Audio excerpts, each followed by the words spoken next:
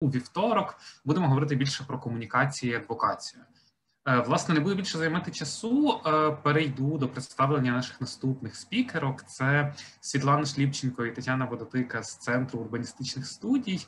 Це громадська організація, яка створена дослідницями і дослідниками з метою втілення цінностей справедливого і комфортного міста у життя через дослідження просторових соціальних процесів, які відбуваються в містах. Тетяно, е, Світлано, доброго дня. Доброго дня, Іване. Дякую за Доброго можливість.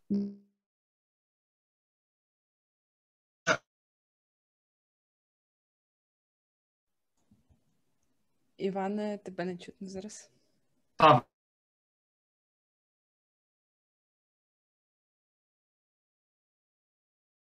Дослідження району Чоколівка в Києві, над яким вони працювали минулого року в рамках дослідницької практики Некомфортна неоколиця. Е, я також нагадаю, що коли буде залишатися 5 хвилин до кінця і хвилини, я напишу про це в чат. Крім цього.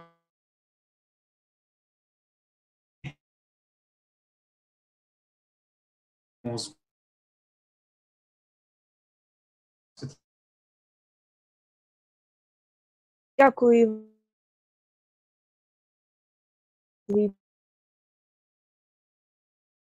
далі про виклики та наші відповіді та подальші перспективи розкаже презентацію сьогодні. Нашу доповідь Learning by Doing прагнучи таким чином зробити акцент на тому, як це залучати студентів та просто молодих дослідників та дослідниць до власне досліджень, які мають певний практичний результат, які це має переваги, недоліки і е, чи чи варто взагалі таке робити. Отже, трохи про саму практику. Е, вона тривала з 15 травня по 21 липня 2020 року. Так уже розпал е, карантинних обмежень, що стало для нас надзвичайним просто викликом. Далі цьому буде присвячений окремий слайд. Тривалість практики щоразу переносилася, розширювалася, е, тому що ми не встигали але тим не менш це вийшов повноцінний такий навчальний триместр таким чином. Отже, було три напрями е, тематичні: урбан-аналіз, соціологічний аналіз та власне історичне дослідження. Важливо, що студенти і студентки е, могли обрати, який напрям їм більш цікавий чи менш цікавий, був перший і другий пріоритет. І таким чином склалося, що жодна команда не була монодисциплінарною. Наприклад, в мене, як в Е, менторки історичної групи були географи, були культурологи, історикиня лише одна. Ми е, націлювалися на те, що будемо брати е, в практику студентів та студенток, хоча і молоді дослідники та дослідниці, які там рік чи два тому випустилися, теж могли бути і були власне долучені. І результати практики ми адресували локальним активістам та активісткам, мешканцям, девелоперам в перспективі місцевої адміністрації та іншим дослідникам, дослідницям, нашим колегам та колежанкам в якості такої моделі. Межі Чоколівки або чому ми обрали власне цей район? Ну на те кілька причин є. Ключова і головна це партнерство з Київським національним університетом будівництва та архітектури. Принагідно скажу, що у вересні цього року ми запускаємо магістерську програму з містопланування на факультеті урбаністики та просторового планування в цьому університеті, і це означає, що нам потрібно було налагоджувати взаємозв'язки, комунікацію з цим університетом. Чоколівка це район поряд, він в межах Солом'янського району міста Києва. Там розташовано кілька гуртожитків, власне, де живуть студенти і студентки університету. Також на Чоколівці розташовується е, мистецька платформа Острів, наші постійні партнери, е, за сприяння яких власне практика була реалізована. Е, ще трохи про цей район, як я вже говорила, це Солом'янський район міста Києва. Там немає метро, найближче метро це метро вокзальна, до якого пішки не дійдеш. Це район власне історичний. Він був започаткований на початку ХХ століття як робітниче поселення для заводу від заводу мешк... від заводу Гретери Криваник, потім більшовик. Зараз цього заводу немає. І з часом він розбудовувався в 60-ті роки, забудовувався хрущівками, хрущовками. І зараз це такий типовий спальничок, ніби в центрі, а ніби і ні. Нібито зручне розташування, тому що магістральні лінії проходять, але проблем з мобільністю теж не бракує. І, власне, про це далі. І а, що таке Чоколівка? Де взагалі Чоколівка а, було для нас викликом з'ясувати?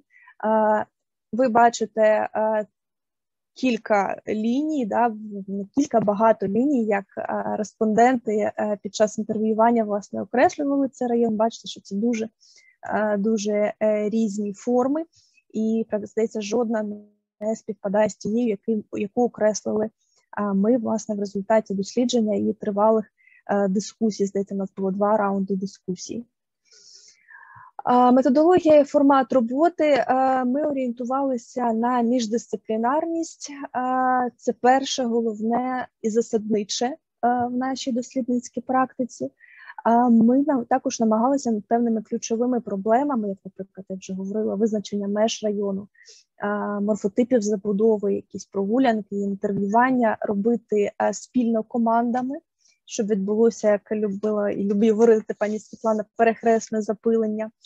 І оскільки це все ж е, не лише дослідження, а й навчання, ми поєднували також навчальний компонент з власне дослідництвом. Ми запрошували низку лекторів і лекторок, проводили кілька теоретичних і практичних семінарів, е, дискусій.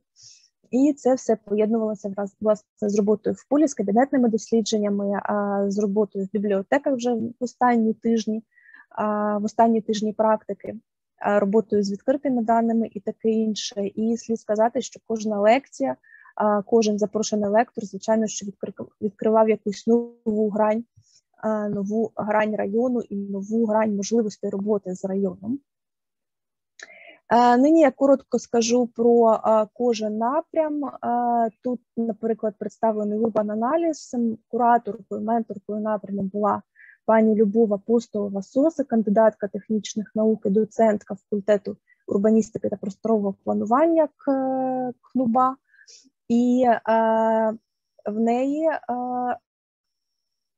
власне її команда працювала з елементами містобудівної системи аналізувала каркас і тканину е, цього району, і в результаті е, дослідження е, вона виявила її команда виявила переваги, недоліки, проблемні локації Чоколівки.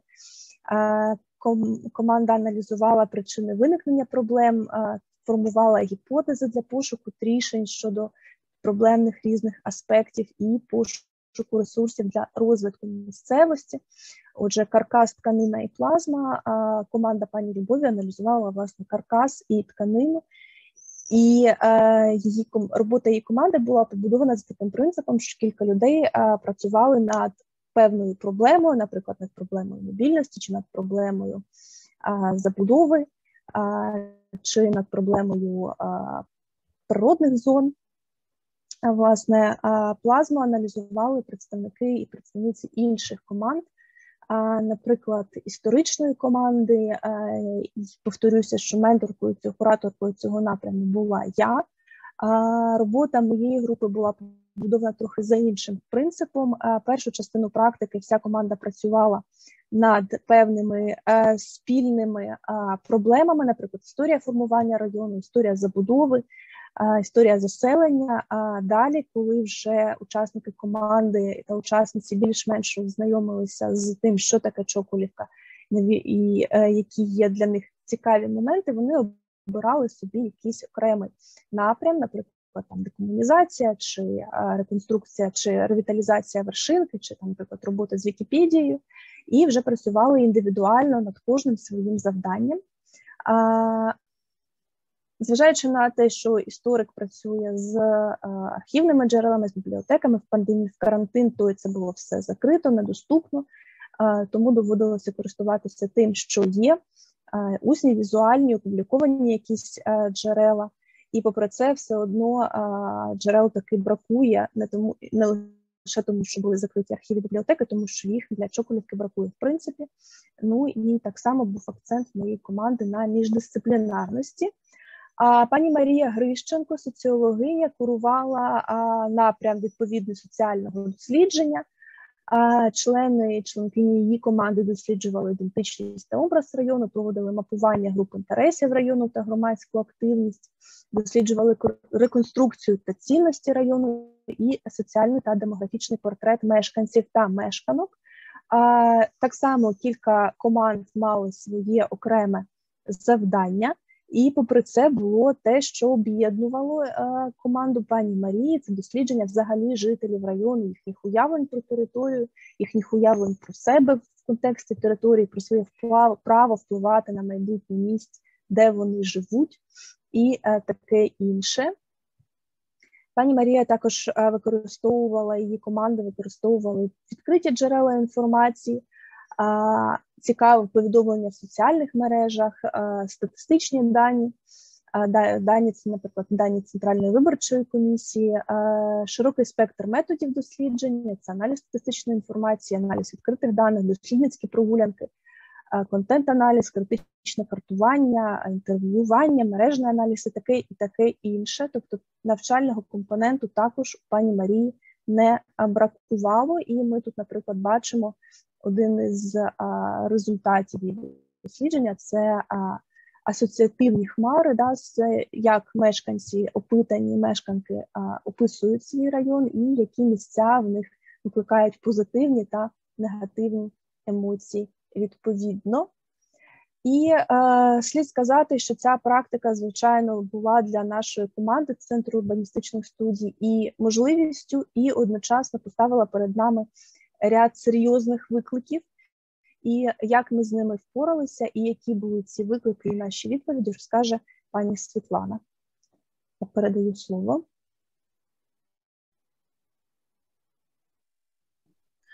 А, Перепрошую. Дякую, Тетяна. Я зараз розповім справді про ці виклики і наші відповіді, спробую відповідати на них і про результати нашої роботи.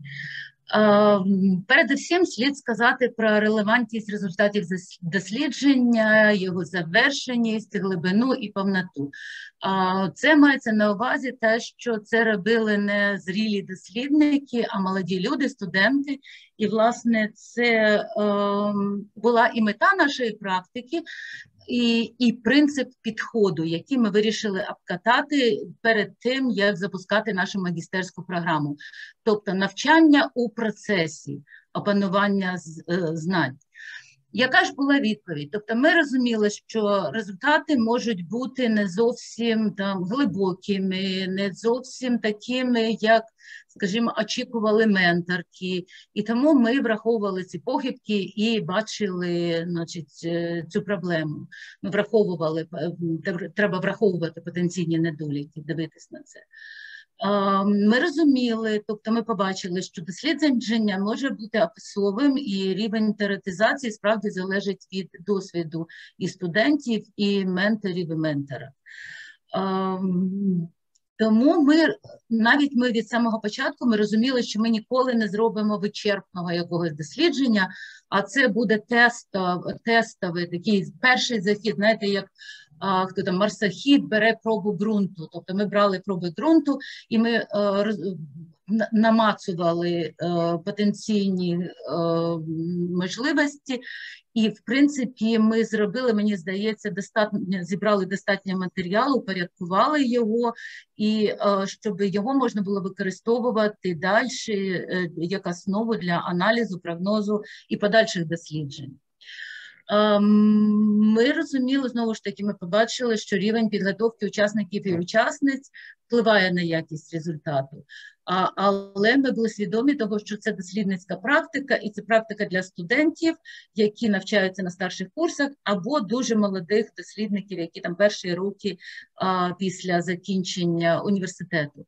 А, Тому ми е, намагались і і при тому, значить, різні люди з різними бекграундами, е, хтось із соціологією, хтось із містоплануванням, хтось із географією, хтось з історією, а хтось з архітектурою. Тому ми шукали якісь такі е, ну, можливості інтегрованого. Ем, такого е, співпраці, тобто можливості інтегрувати е, знання кожного і кожного, і такі моделі взаємодоповнюючої співпраці, і от такі міні-команди, які там, де люди могли би обмінюватись досвідом і підтримувати, допомагати взаємодоповнювати один одного. Ем, викликом була підтримка потрібного рівня мотивації і психологічного комфорту. Що це означає? Тобто, це може бути і не в умовах карантину, а карантин наклав і локдаун наклав свої ще додаткові такі обмеження. Рівень мотивації, ви розумієте, коли у вас є студенти, скажімо, якщо ви викладаєте, то у вас є адміністративний ресурс. Якщо ви наймаєте людей на роботу за гроші, то у вас теж є якісь е, можливості впливати на це. А тут е, люди подалися на цю програму, але їх ну тримати їх ніхто не ну тобто їх мусила тримати тільки зацікавленість в якомусь е, чогось навчитися і в якомусь результаті. І це було справді дуже серйозним е, викликом, тому що замість двох тижнів, як Таня сказала спочатку, значить це у нас розтягнулося на хороших 8-10 тижнів, коли треба було справді підтримувати цей інтерес, і ще це був період дипломів. Тобто ми е, викликів було досить багато, це може бути навіть окрема тема.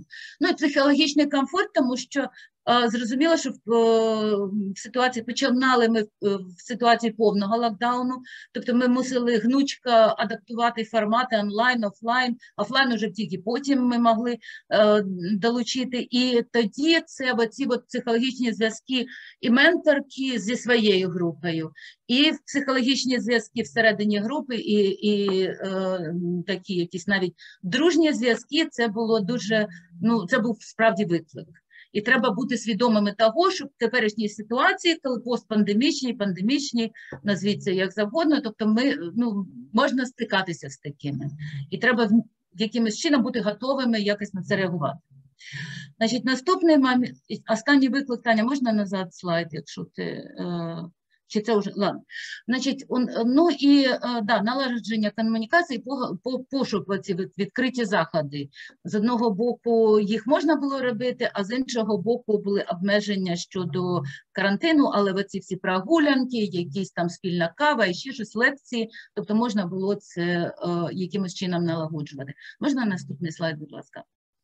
Значить, ну і дослідження в умовах карантину це справді це може окрема тема, тому що е, не були доступні ні бібліотеки, ні архіви. Треба було звертатись до альтернативних джерел інформації. Це Таня і Марія дуже чітко і любов на собі е, відчули.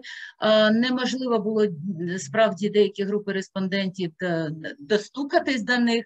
Е, люди боялися комунікувати, е, домовляти мало людей на вулиці, домовлятись про інтерв'ю. Оце справді страх спілкуватися з незнайомцями, це нові фобії посткарантинні. А про е, інтерв'ю треба було там, незважаючи на погоду, проводити у відкритому просторі. А онлайн інтерв'ю не дає вам необхідної такої ну, спілкування з вашим респондентом, необхідного цього психологічного зв'язку, коли людина може вам щось відкритіше сказати, бути відкритішою, вільнішою в своїх висловлюваннях. Знову ж таки, виклик проведення е, картографування під час інтерв'ю. Якщо е, інтерв'ю онлайн це проблема, значить, е, тобто це треба було там технічні ці засоби підтягувати. А обмежена мобільність команди, тому що Таня, ми ж у нас і назва не околиця, і наче околиця, знаєте, це як би, нібито околиця. Тобто приїхати туди це був справді виклик, і ні студенти, ні ні ментори, менторки не могли доїхати до локації.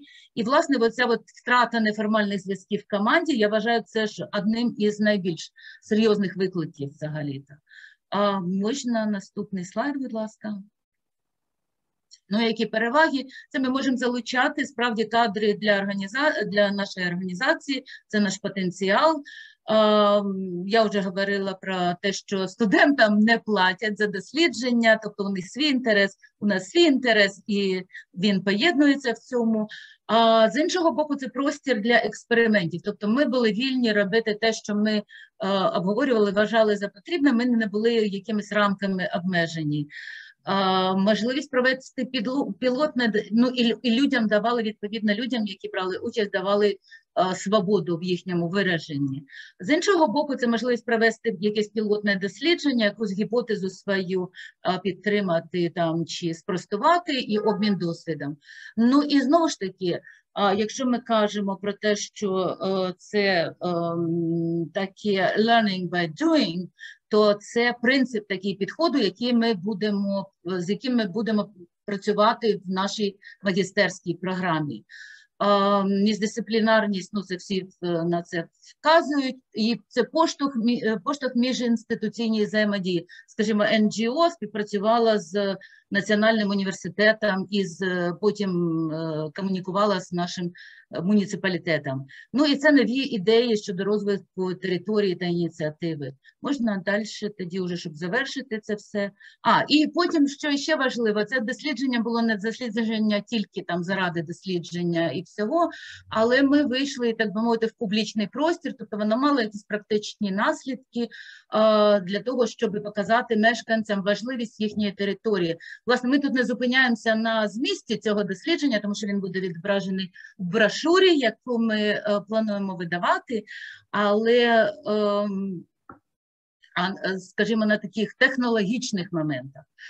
Ем, ну і що, яка, які результати цієї дослідницької практики? Я так думаю, що це класне дослідження для службовців, менеджерів і активістів. Написано брошуру. Да, І ще раз я підкреслю, все таки вихід такий в практичний простір, коли мешканцям показали, як які важливі моменти є в їхній території, тобто олюднили їхню територію, вона стала їм більш зрозуміла, а відтак вони відчули якісь оці зв'язки і свою можливу відповідальність в майбутньому.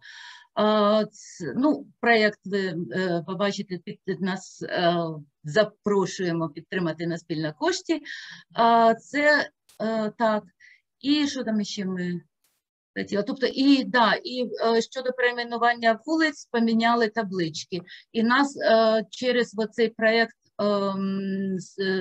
зокрема про шістдесятників, значить, е, муніципалітет зацікавився нашого міста, зацікавилися саме цією частиною, дивно чому саме цією, але в принципі зацікавилися, і, і це відкриває такі можливості співпраці справді для НГО, університетів, які мали або практично не задіяні співпраці з місцевими е, структурами. І це було б важливо, тому що ну я не скажу, що студентів треба використовувати, але тут треба шукати обопільну таку вигаду для обох сторін. І вони її, в принципі, знаходять і мають. І це мені здається дуже важливо. Я думаю, що на цьому я закінчу. Може, якісь будуть питання. Дякую.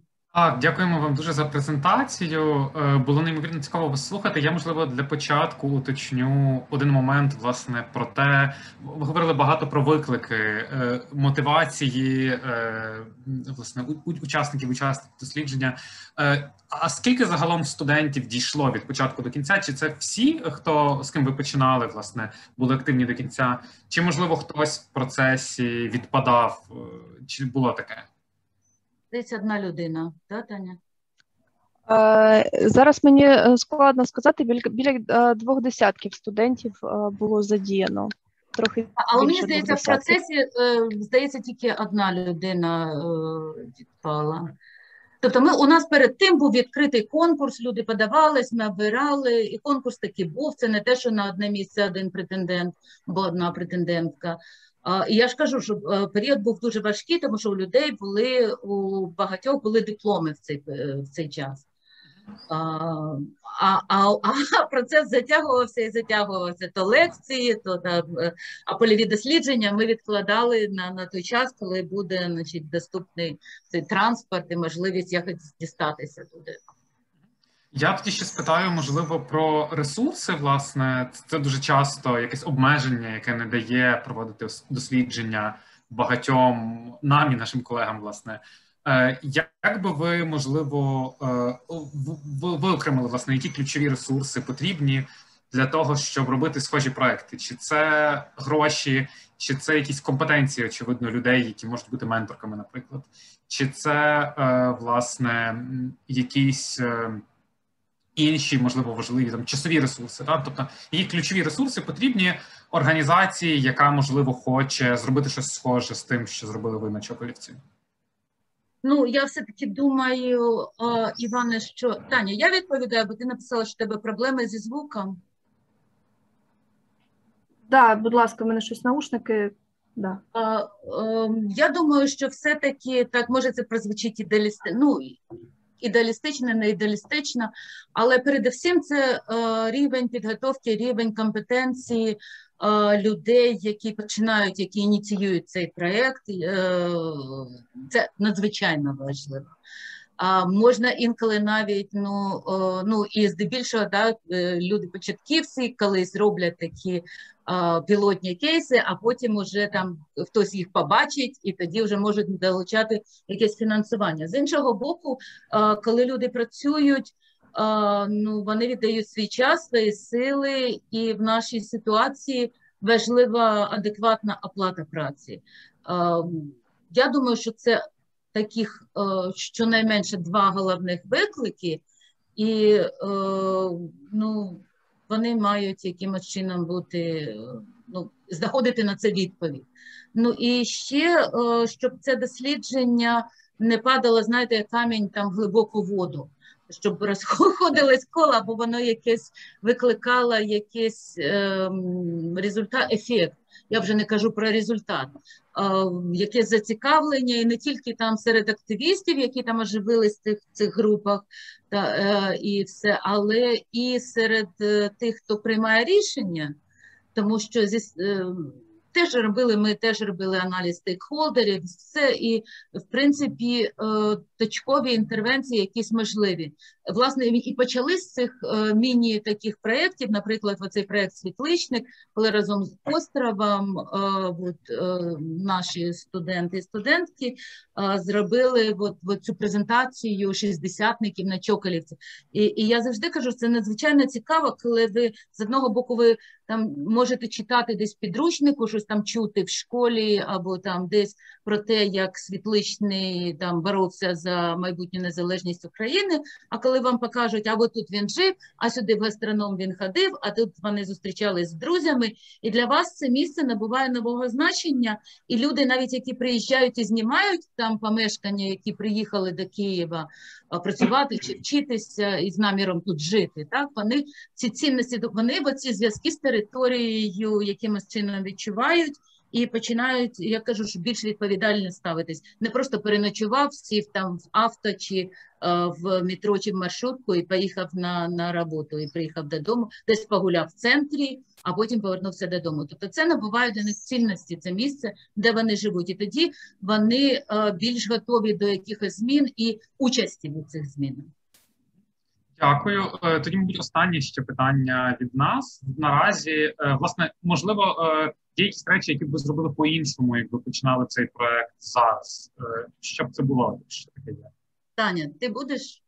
Давай. А, Я думаю, так що по по-іншому це однозначно е, не розраховувати на те, що в архівах і в бібліотеках є все, а більше розраховувати на те, що користуватися, так би мовити, тим, що трапляється по дорозі, тому що, наприклад, джерелом для нас стали фільми художні, і е, ну, тобто більш, більше розраховувати на якісь е, несподівані результати, тому що для мене, е, для для кураторки історичного напряму, це стало громом серед ясного неба, і я справлялася вже з куліс походу з таким викликом, і дійсно вийшло дуже непогано. І ще що б я робила по-іншому, це закладала тут більший публічно-історичний аспект. Тобто ми щось з'ясували, далі що можна з цим робити, тому що ця публічно-історична складова про той же світличник чи зміну табличок після декомунізації, чи та ж Вікіпедія, це сталося спонтанно. Якби я це планувала від початку, ефект був би більшим. Ну, ти ніколи не знаєш, що у тебе буде, але в принципі більше так. мати можливості планувати це правда. Дякую вам дуже за чудову презентацію. Було неймовірно Дякую вам. слухати. У Фейсбуці під трансляцією ви бачите посилання на результати дослідження і власне посилання на спільнокошт, де ви можете підтримати ведення Дякуємо цього проекту. Зі свого боку, ми також нагадуємо нашим глядачам і глядачкам, що ви можете також підтримати аналітичний центр Цедус. У нас на сайті нещодавно запустився збір пожертв. Ми теж зараз залишимо адресу у коментарях. Крім цього, я також проанонсую, що останні півроку ми також мали схожий проект навчальних досліджень на три різні теми, власне, які пов'язані з питаннями освіти, міських трансформацій, міграції. Власне, ми теж проводили навчальні дослідницькі проекти з трьома групами. Невдовзі вже сподіваємося, в липні ми зможемо поділитися результатами цих власне проєктів, тож слідкуйте за нашими сторінками у різних соціальних мережах. Тим часом я передаю слово